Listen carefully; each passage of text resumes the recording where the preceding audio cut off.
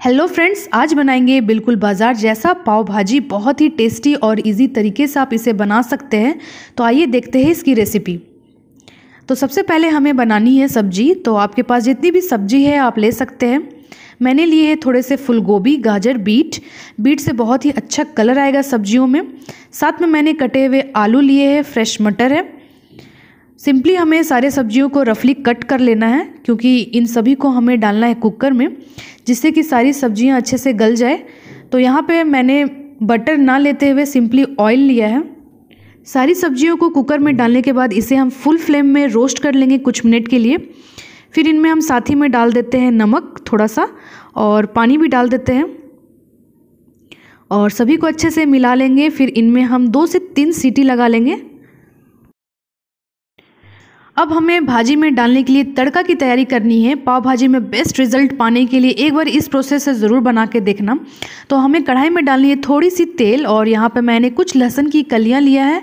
इसे हम हल्का सा कलर चेंज होने तक रोस्ट कर लेंगे और जब लहसुन हल्का सा कलर चेंज हो जाए तो हम डाल देंगे इनमें तीन से चार सूखी लाल मिर्च।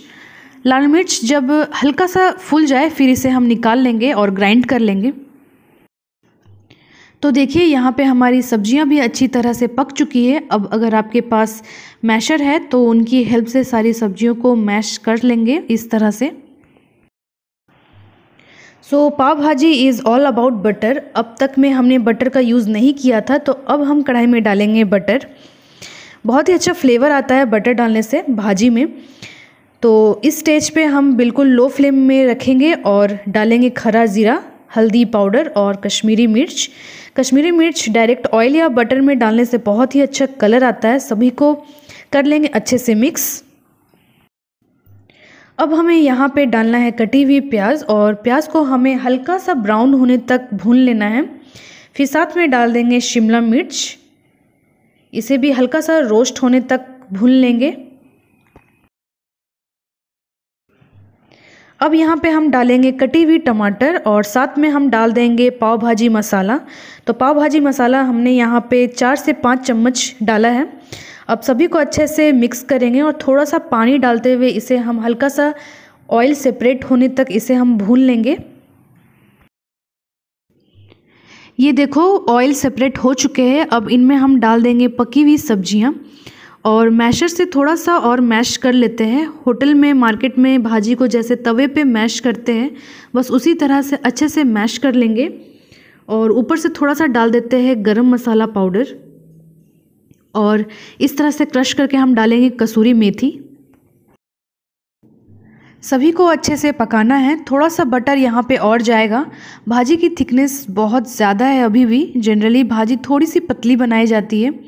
और इनमें तड़का लगाया जाता है। मैंने अदरक लहसुन का पेस्ट यूज़ नहीं किया है भाजी में। अगर आप चाहो तो स्टार्टिंग में अदरक लहसुन का भी पेस्ट यूज़ कर सकते हो। तो ढक के इसे हम ऑयल सेपरेट होने तक भून लेंगे। साथ ही में हमने जो तड़का लगाने के लिए लहसुन और सूखी लाल मिर्च भुने थे तो इसे अब हम ग्राइंड कर लेंगे। थोड़ी सी पानी डाल के फाइन पीस लेंगे। तड़का लगाने के लिए कढ़ाई में डालेंगे बटर तुरंत ही इनमें हम डालेंगे कश्मीरी मिर्च. कश्मीरी मिर्च से भाजी का कलर और भी ज़्यादा रिच हो जाएगा. थोड़ी सी कसूरी मेथी और डाल देते हैं और अब यहाँ पे लहसुन, लाल मिर्च वाले पेस्ट को डाल देंगे. जार में थोड़ा सा पानी डाल के बस एक बॉयल आने देते हैं. फिर इसे हम डाल देंगे भाजी के ऊपर. अच्छे से कर लेते हैं मिक्स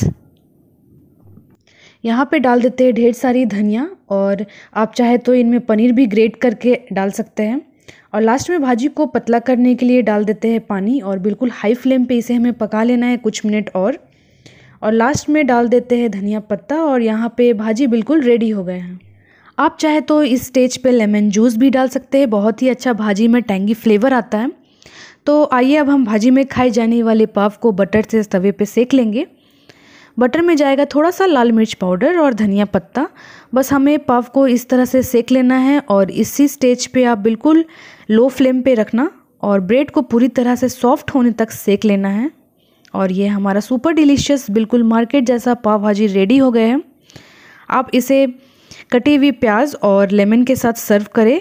भाजी में मैंने ऊपर से पनीर के क्यूब्स और थोड़े से बटर से सर्व किया है। और आप इसे अपने फैमिली एंड फ्रेंड के साथ एंजॉय करें। रेसिपी पसंद आई हो तो लाइक शेयर एंड सब्सक्राइब ज़रूर करना। नोटिफिकेशन बेल ज़रूर हिट करना। बाय